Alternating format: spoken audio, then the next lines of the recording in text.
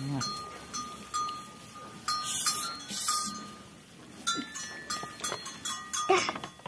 Hmm, gebrus. Bedik. Bentuk sama susu ini ya botol apa? Kenapa juga ini Hmm. Kena itu.